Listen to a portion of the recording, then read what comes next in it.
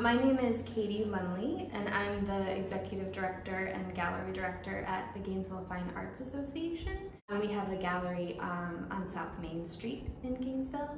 And we always participate in Art Walk every month. It's a really fun um, Gainesville event that people can go to. Many cities have events like this, and Gainesville is really special too because we have um, other venues like the brewery and things like that and restaurants. So it's like a really cool way to bring like lots of different art forms together um, and to celebrate also the local um, places that make Gainesville thrive too. It's just kind of this nice bringing of people together and it's just a night where you can kind of go to lots of different places um, and get just a variety of things. So it's really, I think it's special in that way.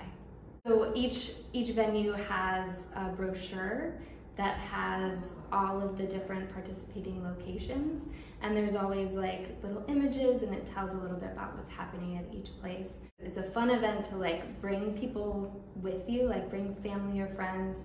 It just will provide you with a variety of experiences and different, you'll meet a lot of different people. Just that in itself is a great reason to like, you know, add it to your list of fun things to do with um, when you want to go out on, on a Friday evening in Gainesville.